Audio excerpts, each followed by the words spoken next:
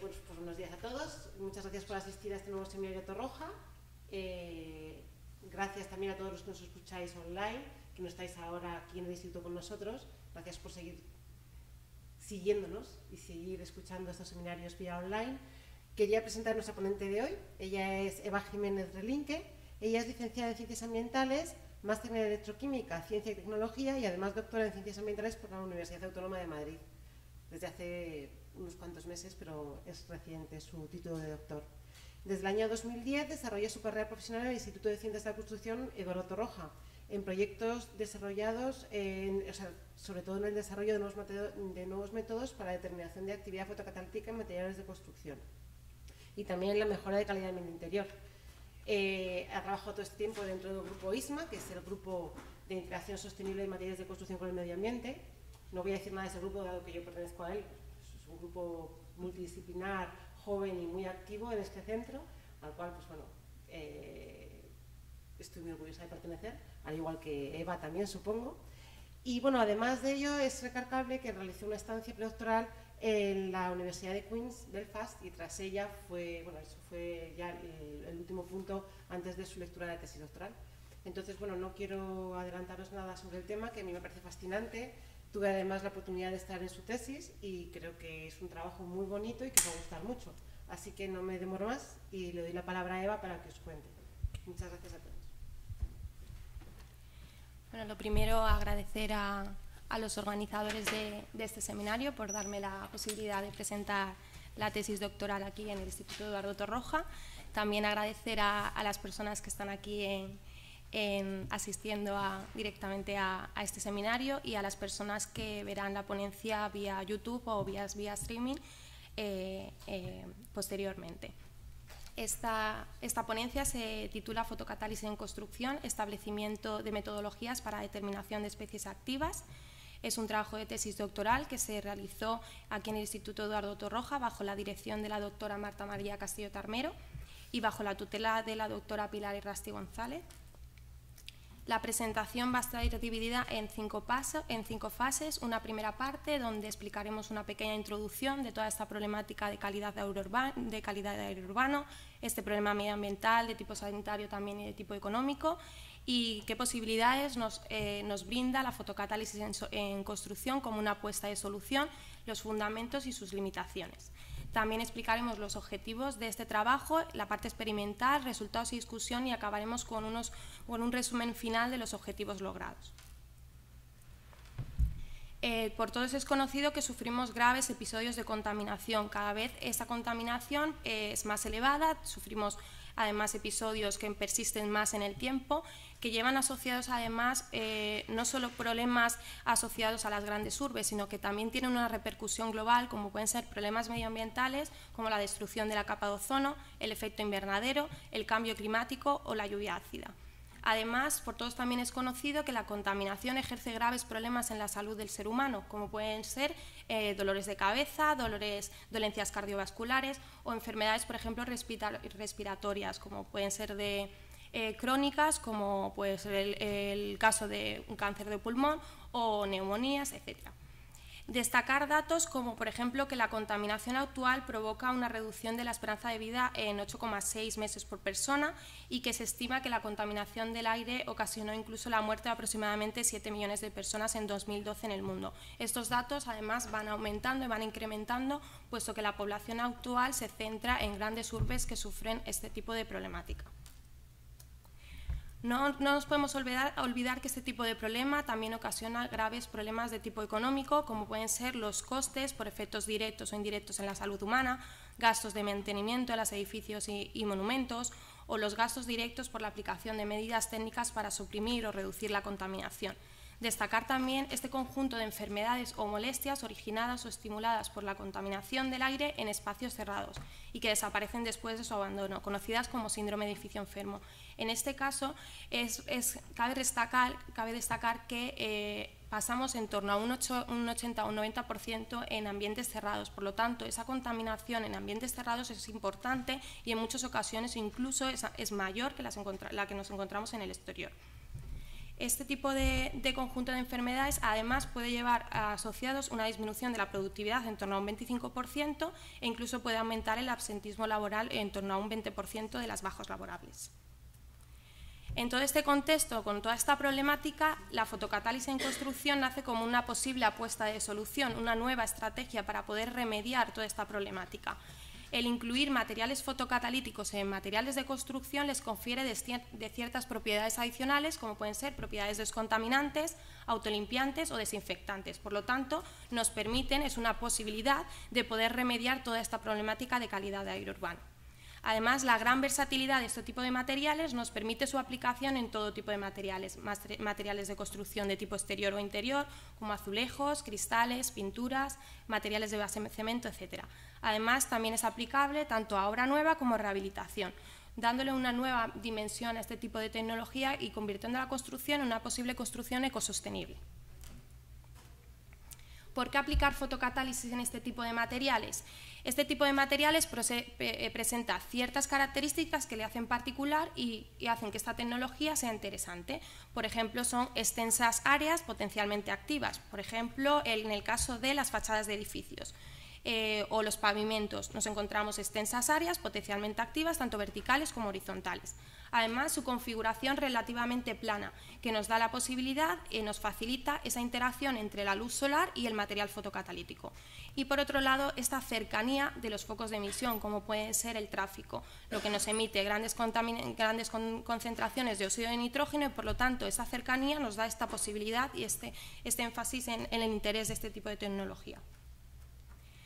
Eh, ¿Cómo podemos, definir la fotocatálisis heterogénea? Como una tecnología basada en la absorción de energía radiante de tipo visible o ultravioleta por un semiconductor que actuaría como fotocatalizador, principalmente el más conocido dióxido de titanio. Al aprovechar la energía lumínica, el catalizador induce a la formación de especies activas que pueden reaccionar con todas las sustancias absorbidas en su superficie, tanto de tipo orgánico como inorgánico. ¿A qué se debe este proceso? Este proceso se debe que a una partícula de semiconductor posee una estructura electrónica compuesta por dos bandas, una banda de valencia y una banda de conducción, separadas por una distancia de energía conocida como bandgap. Si un fotón de energía suficiente incide en la superficie de un fotocatalizador o de un material de construcción que posea en su interior este material fotocatalítico, con una energía mayor o igual que este bandgap, induce a una reacción en la que un electrón de la banda de valencia saltaría a la banda de conducción dejando un hueco en la anterior. Este par electrón hueco puede recombinarse, inhibiendo cualquier posibilidad de actividad fotocatalítica. Sin embargo, si este electrón y este hueco reaccionan en superficie con otras sustancias, puede dar lugar a unas reacciones, de reacciones R2 fotoinducidas, tanto fotoreducción como fotosidación. El electrón es capaz de reducir cualquier sustancia absorbida en, la, eh, absorbida en la superficie del fotocatalizador con un potencial redox superior más positivo que el mismo. En el caso del hueco, es capaz de oxidar cualquier sustancia absorbida en la superficie con un potencial redox más negativo que el mismo. Además, en el caso de un fotocatalizador es común que esté puede estar en contacto con una atmósfera, por lo tanto es común que este electrón reaccione con el oxígeno de la atmósfera dando lugar a superóxido. Y en el caso del hueco es común que reaccione con la, humedad atmosférica o con las gotas de lluvia y dé lugar a un radical hidroxilo. Todas estas especies pueden dar lugar a otras especies, pero las más conocidas son el superóxido y el radical hidroxilo. Estas especies son conocidas como especies reactivas de oxígeno, tienen un potencial de oxidación muy elevado. Por ejemplo, en comparativa, en comparativa con el flúor o en comparativa con el océano, tiene una capacidad de oxidación muy elevada que hay que tener en cuenta para sus posibles reacciones redox fotoinducidas. Por lo tanto, en el caso de cualquier, que cualquier sustancia nociva entre en contacto con un fotocatalizador, tanto las especies reactivas de oxígeno como este par electrón hueco pueden dar lugar a una serie de reacciones que conviertan estas sustancias nocivas en productos inocuos.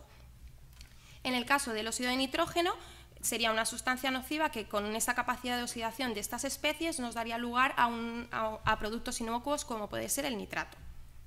En resumen, el rendimiento de un proceso neto de fotocatálisis depende de ese potencial redox de estos pares electrones hueco, que determinaría su capacidad de oxidación o reducción, de esta capacidad de producción de especies reactivas de oxígeno y negativamente con este proceso de recombinación que inhibiría cualquier posibilidad de realización de actividad fotocatalítica. Eh, las grandes posibilidades que ha dado este tipo de metodología y aplicación en materiales de construcción da lugar a una serie de productos que están actualmente en el mercado. Por lo tanto, nace la necesidad de establecer unas tecnologías, unas metodologías normalizadas para determinar su actividad fotocatalítica. Existen una serie de comités dedicados a tal fin. Sin embargo, en nuestra opinión, presentan ciertas limitaciones la normativa actual vigente. Entre ellos destacamos eh, que la actividad fotocatalítica se determina en función de la capacidad de eliminar un contaminante específico, por lo tanto no determina la potencialidad de un material. Eh, por ejemplo, nos encontramos el caso de normativas que eh, determinan la actividad fotocatalítica en función del óxido de nitrógeno. Nos encontraríamos un material que podría, degradar en torno a un 20% de óxidos de nitrógeno. Eso no significa que pueda degradar un 20% de compuestos orgánicos volátiles. Por lo tanto, determinar la actividad de un material en función de un contaminante no creemos que sea la opción correcta para establecer una potencialidad de un material. Además, difieren en muchos parámetros experimentales y análisis de resultados, por lo tanto, no son resultados comparables, no podemos comparar una norma, con otra. También requieren equipos costosos y consumen mucho tiempo. No son aplicables in situ y tampoco son aplicables a una amplia variabilidad de materiales disponibles, tan importante en el caso de los materiales de construcción que nos encontramos con matrices de todo tipo, complejas de todo tipo. En este contexto, con una problemática, la problemática de calidad de aire urbano, Teniendo en cuenta estas limitaciones que nos encontramos a la hora de medir la actividad fotocatalítica y teniendo en cuenta el fundamento del proceso, desarrollamos un trabajo de tesis que era el objetivo general era el objetivo era el desarrollo de nuevos métodos de evaluación de la actividad fotocatalítica de materiales de construcción con adiciones de dióxido de titanio basados en la detección de especies activas formadas durante este proceso de fotoactivación. La potencialidad del sistema fotocatalítico entonces se establecerá con independencia de un contaminante específico. Claramente, el objetivo de este trabajo era diseñar metodologías sencillas, rápidas, económicas y aplicables a una amplia gama de materiales disponibles. Para este objetivo general establecimos una serie de objetivos parciales. El primero era la selección de las ondas y las especies activas a determinar el desarrollo de métodos específicos aplicables a una amplia gama de materiales de construcción con diferentes actividades fotocatalíticas y propiedades intrínsecas y la validación de estos métodos desarrollados en comparativa con las normativas que actualmente tenemos de referencia.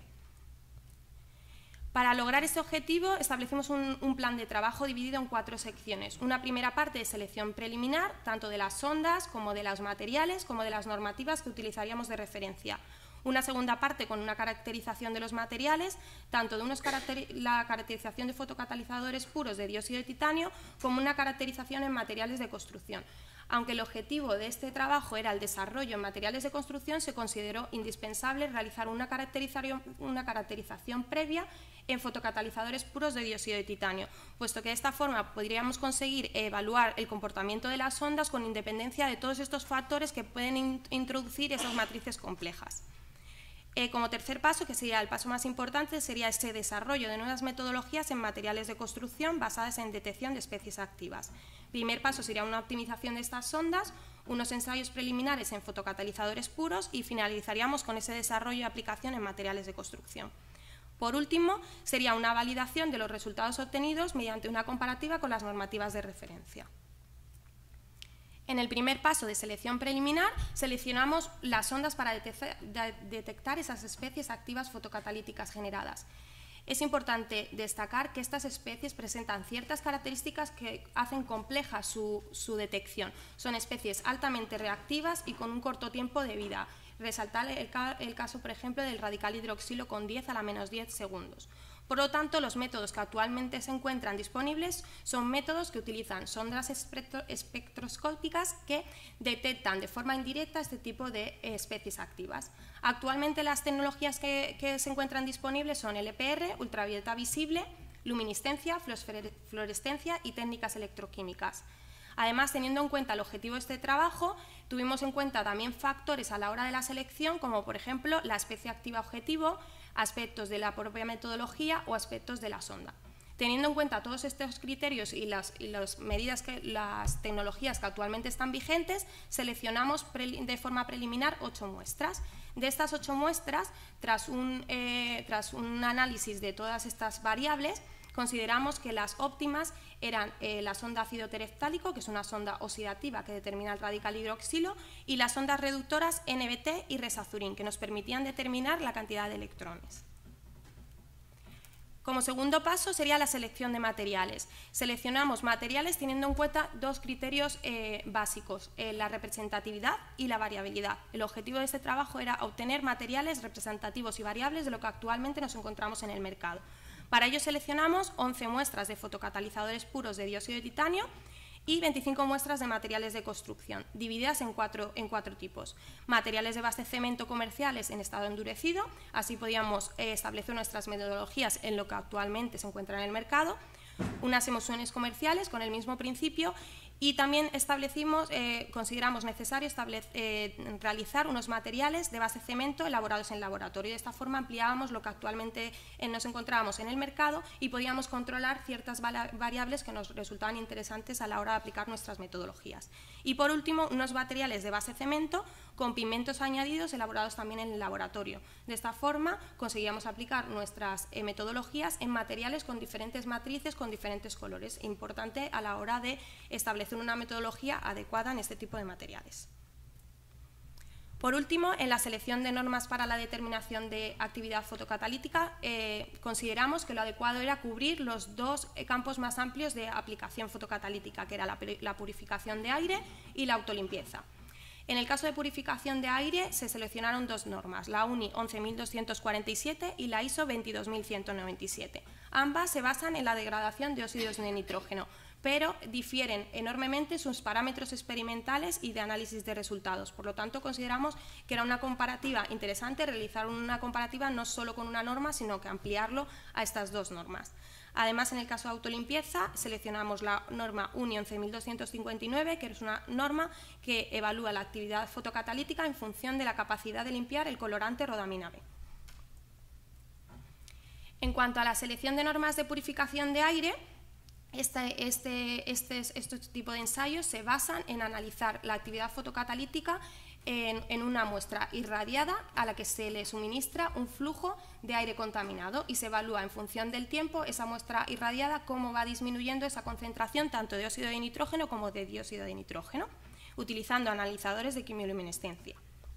En el caso de la eh, rodamina B, lo que se realiza es una tinción de la muestra, se tiñe la muestra con rodamina B y se iluminan en función del tiempo, se evalúa cómo va evolucionando esa colorimetría de ese, colorante. En este caso, la normativa considera que se evalúa en función de la coordenada A del sistema CIELAF, es un sistema colorimétrico, y con esta coordenada podemos evaluar la cantidad de colorante en función de esa coloración rojiza utilizamos un espectrofotómetro de ultravioleta visible y podemos determinar además por esta norma si es un material fotocatalítico o no, teniendo en cuenta estos criterios de degradación a las 4 horas y a las 26 horas de degradación. En cuanto a la caracterización de materiales, lo que el objetivo de esta caracterización no era realizar una caracterización exhaustiva de todas las características que puede poseer un material de construcción, sino corroborar esa representatividad y esta variabilidad de los materiales de construcción seleccionados, teniendo en cuenta los eh, parámetros más importantes en este tipo de materiales de construcción fotocatalíticos, parámetros químico químicos, parámetros físicos y propiedades ópticas, como puede ser la absorción de luz, ese ancho de banda o esas posiciones de banda que, como anteriormente hemos indicado, determinan esta capacidad de oxidación o reducción de un, material fotocatalítico. En la tercera parte, que es eh, la parte más importante, en el desarrollo de nuevas metodologías, comenzamos, eh, eh, lo dividimos en tres etapas. Una etapa previa, donde se optimizaban las ondas, unos test preliminares en fotocatalizadores puros y finalmente lo aplicamos en materiales de construcción. Finalmente, estos resultados los dividimos en dos, materiales en dos tipos de metodologías desarrolladas. La primera, la cuantificación de radical hidroxilo utilizando la sonda de fluorescencia ácido tereftálico y la medición de electrones utilizando los métodos de tinta, tanto resazurín como nitroazol de tetrazorio. En el caso de esta etapa previa, durante la optimización de las sondas, para poder entender el segundo y tercer paso en fotocatalizador puro y material de construcción, es necesario poder entender esta etapa previa. Por lo tanto, en las siguientes diapositivas, donde explicaremos esa etapa experimental, también incluiremos los resultados eh, enfocados a la optimización de la sonda. En cuanto a la optimización de la sonda ácido tereftálico, se realizó lo primero una calibración de la misma. Esta la calibración se realizó en función del compuesto fluorescente resultado de esta reacción del ácido tereftálico con el radical hidroxilo utilizando un espectrofotómetro de fluorescencia. De esta forma obteníamos una recta de calibrado utilizando diferentes concentraciones de este producto de fluorescencia y analizando esa fluorescencia a 425. ¿Qué conseguimos con esta recta de calibrado? Que si después utilizamos un fotocatalizador puro o un material de construcción fotocatalítico fotoactivado, este emitirá una concentración de radical hidroxilo. En contacto con la sonda, emitirá una fluorescencia X que trasladada a esta recta de calibrado nos permitirá obtener esta cantidad de producto fluorescente. Eh, teniendo en cuenta esta relación estequiométrica entre el radical hidroxilo y el compuesto fluorescente, podíamos obtener finalmente en todos los dos productos analizados la cantidad de radicales hidroxilo que, emitía, que emitiría un compuesto fotoactivado. En la concentración óptima de la sonda se realizó un ensayo siguiendo tres, eh, tres fases. Una primera fase de oscuridad para obtener el equilibrio absorción-desorción, una fase de irradiación y una fase de determinación del rendimiento de formación del producto fluorescente. En este caso se utilizan 100 mililitros de la sonda con una concentración de 0,5 a 4 milimolar y se suspenden 150 miligramos de dióxido de titanio en la misma. Utilizando diferentes concentraciones y realizando las tres fases de irradiación y finalmente la determinación del rendimiento de formación, podíamos medir la fluorescencia en función del tiempo. De esta forma, eh, los resultados eh, se podrían resumir en la siguiente gráfica. Si tenemos en cuenta que aumentando esa concentración de sonda mm, observamos que iba aumentando este producto fluorescente, podíamos observar que en esta zona teníamos una sonda que es menos, de la, es menos de la necesaria, por lo tanto no conseguíamos obtener la tasa total de formación de compuesto fluorescente y por lo tanto de radical hidroxilo.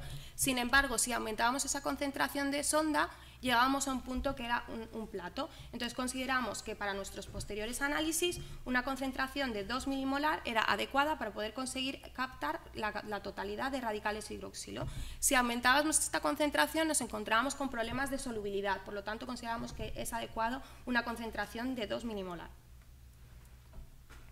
Para el análisis de la selectividad, este tipo de sonda en bibliografía se, considera que no se ve afectada por otras especies como por ejemplo el superóxido. Sin embargo, eh, la oxidación directa por el hueco depende de la concentración que utilices de sonda y del pH que utilices en la sonda. Se considera que un pH básico y una concentración menor de 10 a la menos 2 molar, eh, ese tipo de oxidación directa por hueco se ve desestimada. Sin embargo, en, nuestro caso, nuestro pH era de 12,4, puesto que a todas se les añadió hidróxido de sodio y nuestra concentración era de 2 milimolar. Por lo tanto, nos encontraríamos, nos encontraríamos en este rango en el que la oxidación directa por hueco no existe. Sin embargo, consideramos que era adecuado realizar una serie de ensayos que nos permitieran corroborar este tipo de proceso. Realizamos el mismo ensayo que anteriormente, dividido en tres etapas, pero en este caso, dos de los ensayos se les añadieron dos captadores. Utilizando la sonda que anteriormente considerábamos óptima, le añadíamos dos captadores, en el primer caso sería el DMSO, entraría en competencia con la sonda ácido tereftálico por esos radicales hidroxilo, y en el caso de ECTA atraparía esos huecos y por lo tanto podríamos así analizar la selectividad de la sonda. Realizando estas tres etapas obtuvimos los siguientes resultados. En el caso de un ensayo en el que no existiera ningún captador, obteníamos un porcentaje de reacción del 100%, todo el, rendimiento de formación del producto era del 100%. Sin embargo, si añadíamos un compuesto que entrara en competencia por los OH con la sonda, disminuía por completo y no se, producía, ninguna formación de producto fluorescente. Esto nos indica que esta sonda depende del radical hidroxilo exclusivamente. Por otro lado, además realizamos el ensayo Conecta y nos encontramos que la disminución de la reacción es únicamente de un torno a un 16%. Esto también nos corrobora esta selectividad de la sonda por el radical hidroxilo. Consideramos que esta pequeña disminución se debe a que el hueco y el radical hidroxilo eh, se relacionan directamente y por lo tanto una, pequeña, una disminución del radical hidroxilo a su vez nos daba una disminución, de, una disminución del hueco, nos daba a su vez una reducción del radical hidroxilo. En el caso de la sonda Resazurin y NBT, estas ondas reaccionan exclusivamente con los electrones y en el caso del resazurín eh, sería un compuesto azul que pasaría a un compuesto rosa, por lo tanto también cambiaría su absorbancia. Es característico el caso del resazurín que absorba a 600 nanómetros. Por lo tanto, si queríamos hacer una, una recta de calibrado en función de este compuesto, utilizamos diferentes concentraciones de resazurín y analizamos su absorbancia a 600 nanómetros, obteniendo así una recta de calibrado que después podríamos utilizar en nuestros sistemas activados fotocatalíticos. En el caso del NBT nos encontrábamos con una problemática. Al realizar este tipo de reducción, este, el compuesto resultante era insoluble, por lo tanto, en el caso de una eh, valoración cuantitativa no era adecuado puesto que se quedaba en la adherido a la superficie del fotocatalizador, por lo tanto nos disminuye estos centros activos y no te da valor real de producción de electrones, sino que te disminuye estos centros activos y por lo tanto la, este eh, valor final de, cantidad de electrones. Por lo tanto, no era una, estimación eh, cuantitativa adecuada. Entonces, solo nos quedamos en el caso de una determinación cuantitativa con, los ensayos de Resazurín y, y como anteriormente, si tenemos un material fotocatalítico fotoactivado en contacto con nuestra sonda, esta sonda nos permitiría obtener una absorción, va disminuyendo esta absorción y teniendo en cuenta eh, esta recta de calibrado podíamos determinar finalmente también los electrones que producía cualquier sistema fotoactivado. Para determinar la concentración óptima de la sonda, utilizamos una serie de, estudios que se habían realizado anteriormente en la Universidad de Andrew Mees en la Universidad Queen's de Belfast en esta, universidad realicé una tesis doctoral y pudimos ampliar estas posibilidades de estas ondas que previamente habían utilizado.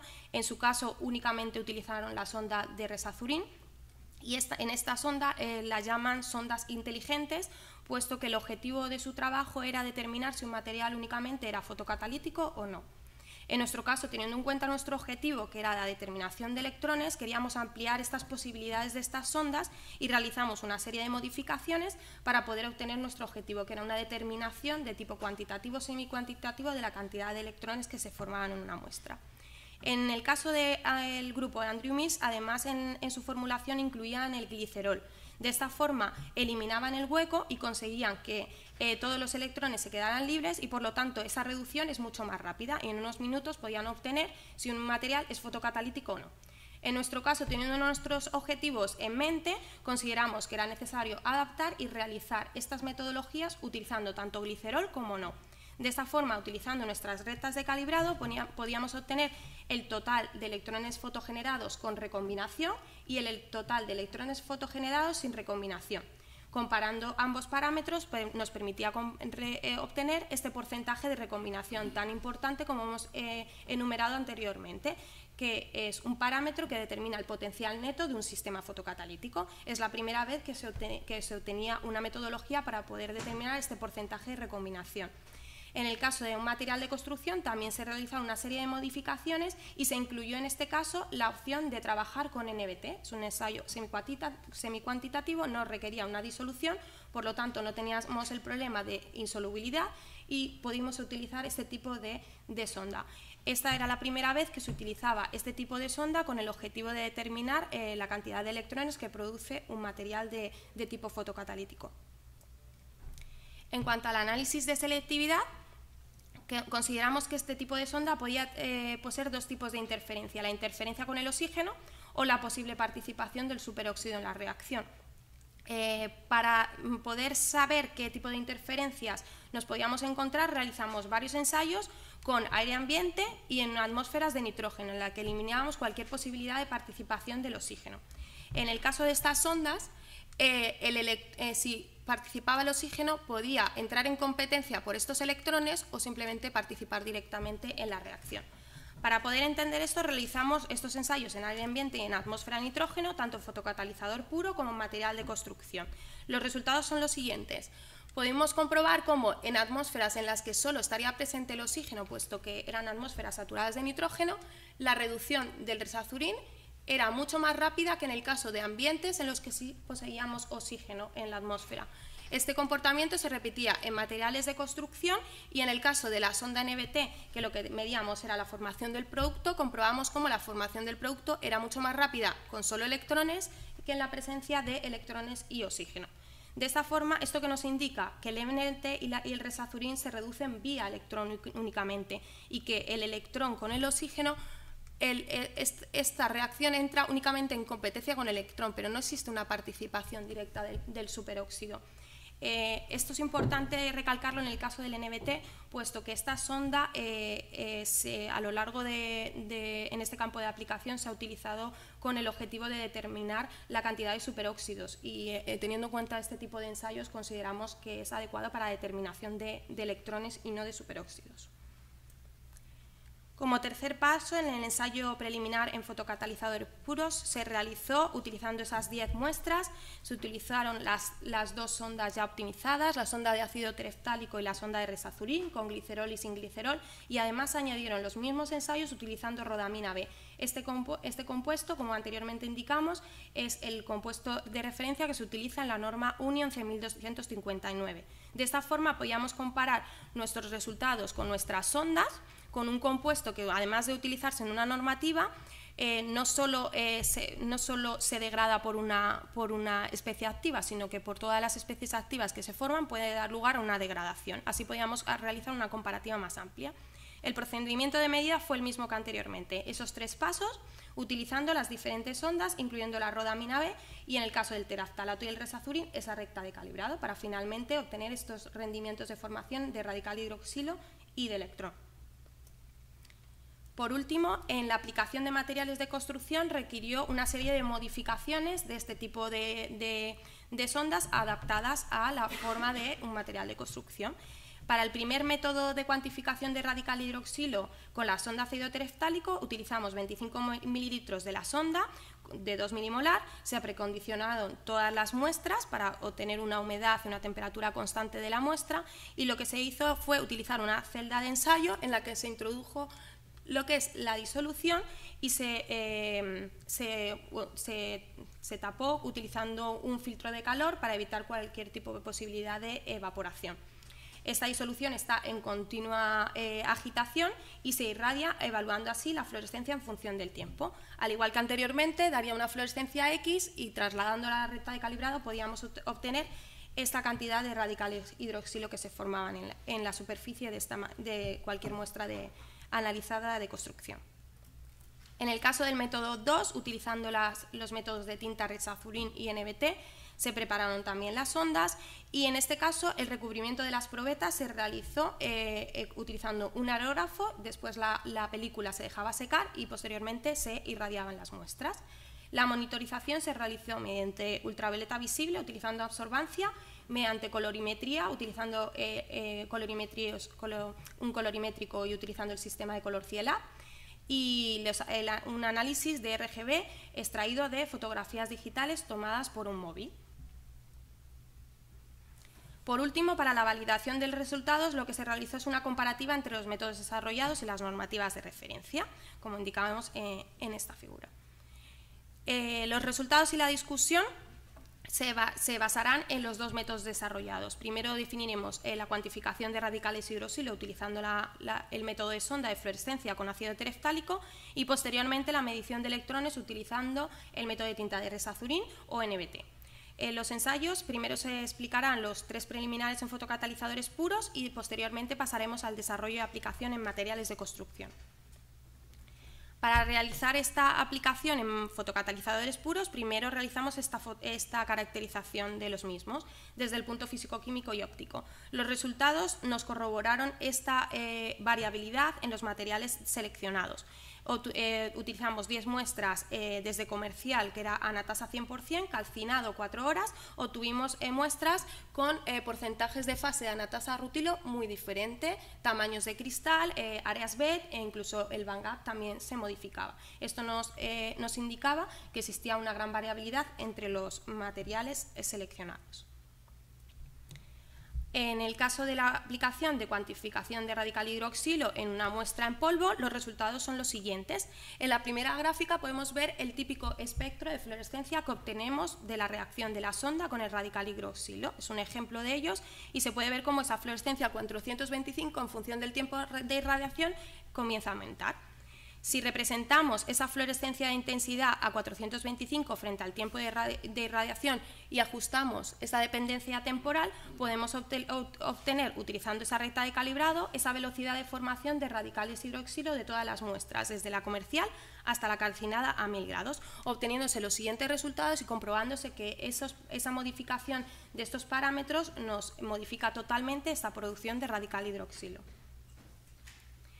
En el caso de fotocatalizadores usando la tinta de resazurín, los resultados son los siguientes. Tanto con glicerol como sin glicerol observábamos cómo esa absorbancia a 600 nanómetros característica del resazurín iba disminuyendo en función del tiempo de irradiación y además se producía este cambio de coloración de azul a rosa debido a que se, transforma en un compuesto rosado. Los resultados, obteniendo esos ajustes lineales y teniendo en cuenta estas rectas de calibrado, podíamos obtener unos valores de este tipo. Son resultados en los que nos indica la tasa de formación de electrones sin recombinación, con recombinación y además podíamos calcular en porcentaje el porcentaje de recombinación de todas las muestras. También como anteriormente se comprueba que depende de esas características la tasa de formación es totalmente eh, diferente.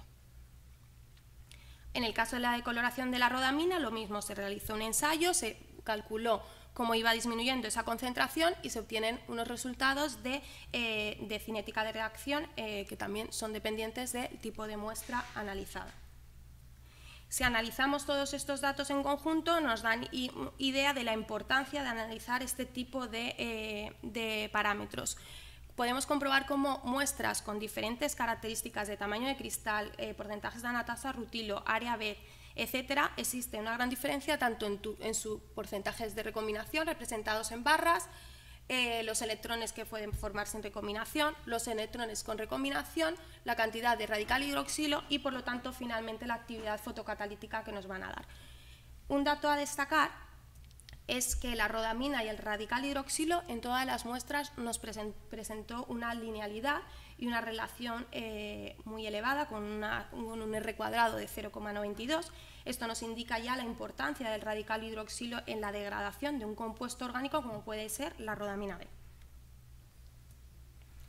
En el desarrollo y en materiales de construcción, la caracterización también nos corroboró esta variabilidad de materiales seleccionados desde el punto de vista físico-químico y óptico. Nos encontramos materiales con todo tipo de fases detectadas, eh, anatasa, rutilo, con diferentes intervalos de áreas BED, con diferentes intervalos de volúmenes de poro, eh, con diferentes intervalos en datos tan importantes como pueden ser eh, la absorbancia o o estas posibilidades de salto de la banda de valencia a la banda de conducción, destacar que utilizamos eh, la representación de tau plot, este tipo de, metodología se utiliza para obtener el bandgap de materiales fotocatalíticos puros. En este caso, eh, al ser una matriz compleja, eh, se denomina borde de banda de fotoabsorción aparente, lo hemos denominado aparente porque consideramos que es una matriz compleja y no podemos considerar que es un, es un borde de fotoabsorción real del fotocatalizador, pero sin embargo los resultados, si comparamos con un fotocatalizador conocido, nos indicaron que nuestros valores obtenidos de fotoabsorción aparente estaban muy eh, relacionados con los valores que realmente encontramos en un band gap, una diferencia de 3 electronvoltios a 3,1 electronvoltios, lo que nos indica que esta metodología es, es adecuada para poder analizar un fotocatalizador en una matriz compleja. En cuanto a la aplicación de este, material, de este tipo de metodología en material de construcción, obtenemos los resultados igual que anteriormente en, fotocatalizadores puros. Espectros de fluorescencia que van aumentando 425 nanómetros en función del tiempo de irradiación, una dependencia temporal en función del tiempo de, irradiación de todas las muestras, en este caso presentamos únicamente estas muestras, y la velocidad de formación de, de estas muestras resultado de la recta de calibrado. De esta forma, obtenemos un nuevo concepto de medida de actividad fotocatalítica en función de estos rankings de velocidad de formación de radical hidroxilo a diferentes intensidades de, luz, como 5 y 10 vatios. En cuanto al método 2, aplicado en materiales de construcción, que sería eh, las ondas Resazurin y NBT, nos encontramos unos primeros resultados en el caso de las ondas Resazurin. Cinco de las 25 muestras presentaban una conversión de los espectros de absorbancia y de color de forma instantánea en la oscuridad. Esto nos indicaba que existía alguna reactividad con la muestra que nos eh, daba lugar a una metodología inapropiada con este tipo de sonda. Nos encontramos esta problemática y después de un análisis consideramos que el pH básico de los materiales de base cemento puede ser una, una de las causas de esta variación sin actividad fotocatalítica de forma instantánea y la composición de las emulsiones, que es muy compleja y consideramos que puede, puede dar problemáticas. Resaltar que en este caso, en el caso de la sonda Resazurín, requeriría una verificación previa sencilla, que sería aplicar la muestra y si instantáneamente cambia rosa, el test es inapropiado y no se puede realizar. Si no sucede este tipo de reacción, podemos seguir adelante y, aplicar nuestro, nuestro test. Este tipo de resultados no se observó en ningún caso en la sonda NBT, que nos dieron unos resultados adecuados para las 25 muestras. Los resultados de monitorización utilizando tanto absorbancia como color se representan en las siguientes gráficas. Estos son los resultados característicos que, obtenemos para una sonda Resazurin o para una sonda NBT, por ejemplo, en este caso en la muestra C2. Esta muestra, en, en todas las muestras se observaba cómo iba disminuyendo esa absorbancia a 608 nanómetros, característica del resazurín en, en, película seca, y, en el caso, y a la vez que iba disminuyendo esa absorción, encontrábamos cómo iba aumentando esa coloración rojiza medida por el parámetro A del cielo.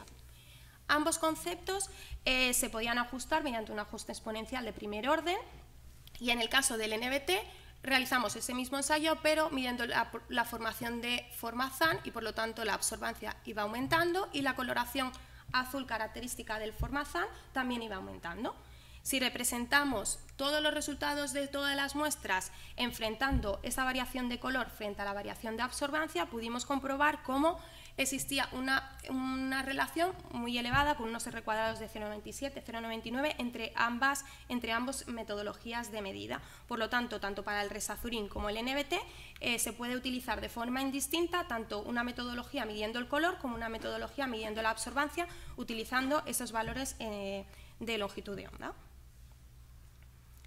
Para el tercer tipo de monitorización pues, se realizó extrayendo el color RGB utilizando imágenes digitales tomadas por móvil. Además, se utiliza también el programa ImageG, que es un programa gratuito que te permite extraer la coloración RGB de una secuencia de imágenes. De esta forma, utilizando eh, una normalización necesaria para poder eh, suprimir todos eh, los posibles efectos de diferentes luces tomadas a la hora de, tomar la, fotografía, realizamos una serie de normalizaciones. En el caso de la, de la, sonda Resazurín, se divide la coloración rojiza entre la componente RGB y en el caso del NBT se divide el azul entre RGB. Eh, para obtener la variación de color durante la irradiación es solo necesario comparar ese valor normalizado en función del tiempo. A la imagen de la derecha podéis ver un poco las imágenes de cómo va variando la, muestra con solo 10 minutos de, irradiación de luz. Los resultados eh, utilizando este tipo de sistema, el RGB, eh, con las imágenes digitales tomadas por el móvil, son similares a los que anteriormente nos encontramos. También suponía un aumento, en este caso, de la coloración rojiza, en este caso de la coloración azul, y ambas se podían ajustar también con un ajuste exponencial de primer orden. Los resultados, eh, comparando los resultados tanto para una sonda como la otra, utilizando el método de referencia, que sería la absorción, en comparativa con el RGB de las fotos, nos indicaron que existía una correlación entre ambas metodologías. Por lo tanto, también se puede eh, utilizar este tipo de metodología, extraer los datos de una fotografía y ampliamos estas posibilidades de ensayo, puesto que sería una metodología más económica, más barata y además eh, tendríamos la posibilidad de analizar eh, in situ nuestros materiales de construcción. Por lo tanto, daríamos un paso más a la hora de establecer metodologías de ensayo. En cuanto a eh, otra forma de calcular este tipo de, metodología fue la forma de determinar un parámetro de eficacia, que era el tiempo de vida medio de la descomposición de la tinta. Teniendo en cuenta que toda esa evolución de la tinta tenía un dominio de tiempo y se ajustaba por un ajuste exponencial, podíamos determinar las constantes de tiempo de estos ajustes eh, exponenciales. Multiplicando esos ajustes, estas constantes de tiempo por logaritmo neperiano de 2, tenemos el valor conocido como tiempo de vida medio de descomposición de la tinta. En nuestro caso, realizamos este parámetro en todas las muestras con las diferentes tintas y podemos obtener cómo eh, ambas tintas, si las enfrentamos una a la otra, presentan una relación entre los resultados obtenidos y además una relación de 1,1. Por lo tanto, eh, indistintamente se puede utilizar el NBT o el resazulín con igual resultado. El ranking de tiempo-vida de medio de descomposición de las cintas lo podíamos obtener y por lo tanto también incluíamos un nuevo concepto de medida de actividad fotocatalítica comparando los tiempos de vida medio de descomposición de diferentes muestras. Para finalizar, lo que queríamos hacer es validar nuestros resultados, nuestras metodologías, comparándolas con estas normativas de referencia. Teniendo en cuenta estas diferencias que hemos comentado anteriormente sobre eh, son metodologías eh, enfocadas a un contaminante específico, eh, presentan diferentes eh, sistemas de medida, diferentes resultados, diferentes metodologías. Consideramos que era necesario previamente realizar una comparativa, antes de, realizar esa comparativa de las normas de referencia con nuestros métodos, una comparativa de las propias normativas de referencia. En esa comparativa de las normativas de referencia de Rodamina frente a NOx, comprobamos que sí que existía una relación directa, una relación positiva, más degradación de NOx suponía más degradación de la rodamina, sin embargo existía una dispersión muy elevada entre ambos componentes. Por lo tanto, esto nos puede indicar eh, que existe em, unas, dificultades, unas dificultades a la hora de la comparación y consideramos que era necesario posteriormente realizar esta comparativa siempre de forma independiente. Comparando los métodos desarrollados también, viendo esta problemática con las normativas de referencia, comparamos previamente los métodos desarrollados entre sí y comprobamos que estos métodos desarrollados ambos presentan una relación positiva entre ellos y pues, existe una correlación entre ambos conceptos. A más, a más cantidad de, a más formación de radical hidroxilo suponía un menor tiempo de vida de las sondas debidas a degradación por los electrones. Si realizamos esta comparativa de cada una de las metodologías desarrolladas con independencia con cada una de las normativas de referencia, nos encontramos con estos resultados. Si enfrentamos los radicales hidroxilo con las degradaciones de NOx eh, de los dos test, los ensayos de NOx con las ondas de NBT y resazurín obtuvimos unos resultados positivos, las correlaciones eran positivas. Esto nos indica que ambos métodos desarrollados son totalmente comparables con un ensayo tan importante como puede ser la degradación de NOx y tan costoso con todas las problemáticas que nos supone. Y, eh, por lo tanto, habríamos una puerta nueva de trabajo y una nueva, un nuevo concepto de medida. Sin embargo, en el caso de comparar estos métodos desarrollados con la rodamina, nos encontramos una relación totalmente negativa. No existía ninguna correlación entre los métodos desarrollados y la rodamina.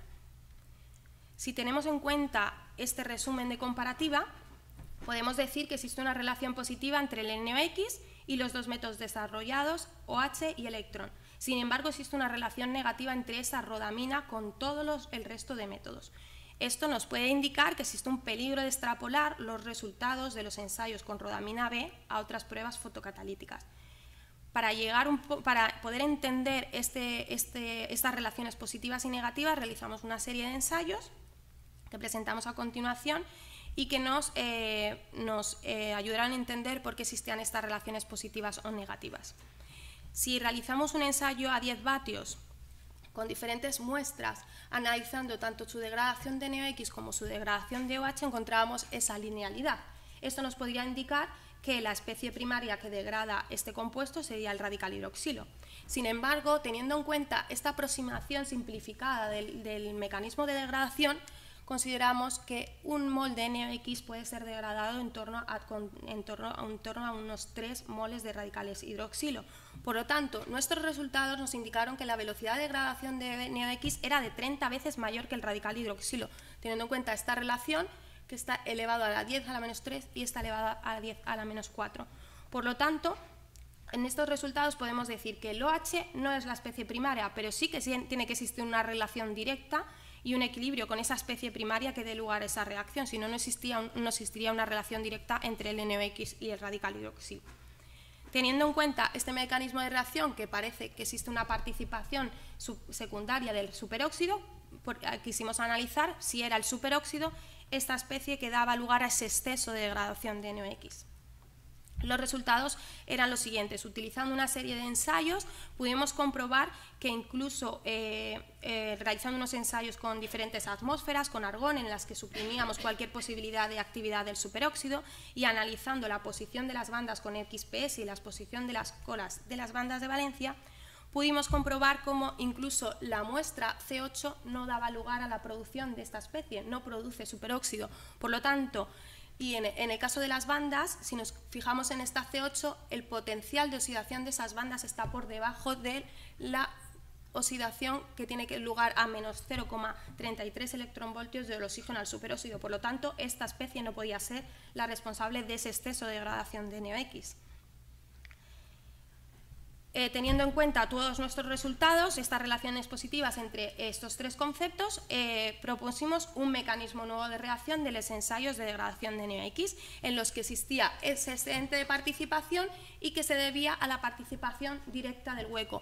El hueco posee una capacidad de oxidación muy elevada y, por lo tanto, esta relación directa nos daba esta relación directa entre todos los compuestos y nos podía solucionar esta posibilidad de este exceso de degradación de NOx. También, además, esta hipótesis se corroboraría, con nuestros resultados también de, electrones.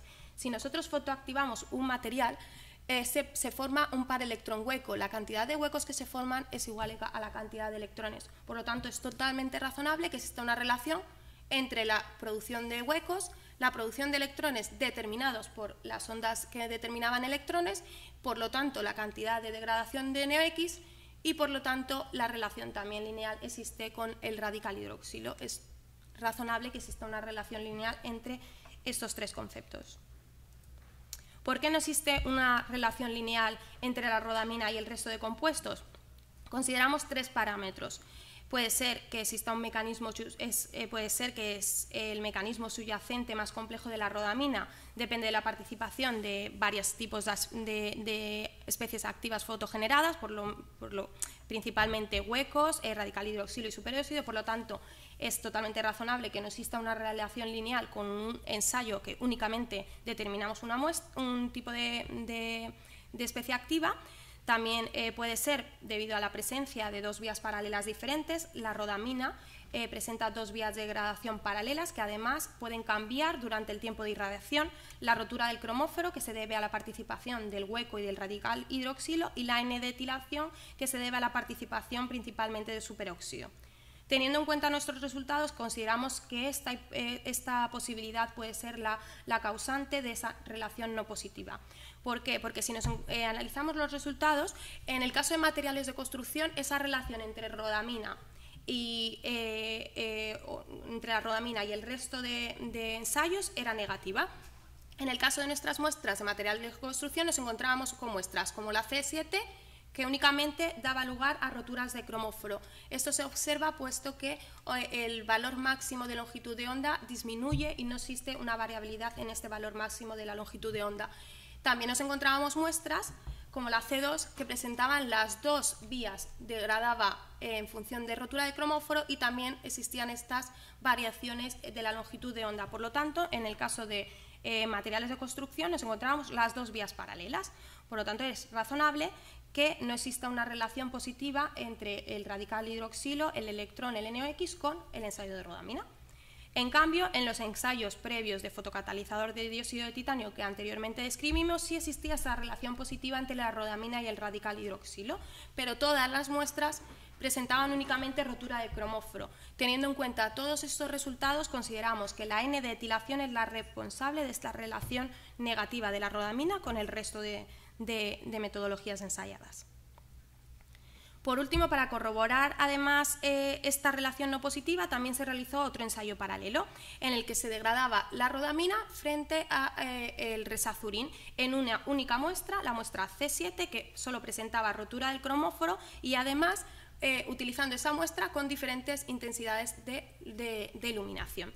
De esta forma, pudimos comprobar que sí que existe una relación positiva entre la rodamina y el electrón, por lo tanto, otra vez nos corrobora que es la N de etilación la responsable de esta relación negativa y como en este caso no está presente, nos encontramos una relación positiva. También indicar eh, que el parámetro considerado durante la rodamina B es el color rojizo, es una, una coordenada, la coordenada A del sistema CIELAB. pero consideramos que no es un parámetro apropiado para monitorizar una degradación que tiene en cuenta eh, diferentes interferencias por aparición de nuevos eh, cromóforos, variaciones de longitud de onda, etc. Entonces consideramos que sería mucho más interesante realizar comparativas de absorción. Eh, como resumen final de los objetivos logrados, eh, se han establecido dos nuevas metodologías desarrolladas en materiales de construcción el método de sonda ácido tereftálico para la velocidad de producción de radical hidroxilo y el método de, para, de INVT para el rendimiento de producción de electrones. Ambos son independientes de un contaminante específico. Son ensayos sencillos, son ensayos rápidos, como máximo 40 minutos, pero en torno a 15 minutos ya podemos obtener una medida fiable. Son económicos y son aplicables a una amplia gama de materiales como, eh, como queríamos como objetivo inicial. Sin embargo, solo destacar el caso del resazurín, que nos encontramos esa problemática en, cinco de las muestras analizadas. Resaltar ventajas significativas como puede ser que son ensayos visuales, esa variación de colores visuales rápida y podemos incluso obtener eh, metodologías con cámara digital utilizando eh, ensayos in situ. Y finalmente recalcar que todo esto nos ha abierto una nueva vía de evaluación, la posibilidad de, determinar la actividad fotocatalítica en función de esta formación de especies activas. Consideramos que pueden ser mejoras en la investigación en el caso de síntesis de nuevos materiales, que podemos aplicar metodologías rápidas, sencillas, que nos den un resultado fiable y nos permitan eh, ir eh, evolucionando en la investigación de forma más rápida. Además, consideramos que estas metodologías eh, se podrían implantar como control de calidad comercial. Nos encontramos en muchos casos materiales que nos vienen eh, de comerciales y no encontramos actividad fotocatalítica, le realizamos los ensayos de NOx, lo que supone un coste, un tiempo, y no encontramos actividad fotocatalítica, por eso consideramos que sería interesante que estas empresas pudieran incluir este tipo de, metodologías sencillas a nivel de un operario y que pudieran realizar un control de calidad comercial previo a, ensayos de certificación, por ejemplo.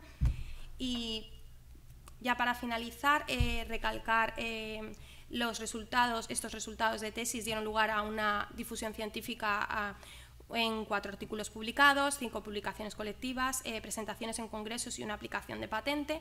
Y os dejo aquí un poco los, los títulos por si queréis revisarlos posteriormente. Y, nada, finalmente dar las gracias y podéis entrar en contacto por, correo conmigo o con la responsable de, la dirección de, este trabajo, que es Marta Castillo Tarmero, y agradecer al Consejo Superior de Investigación Científica por, la beca predoctoral que ayudó a financiar este proyecto y, agradecer a todos por escuchar. Gracias.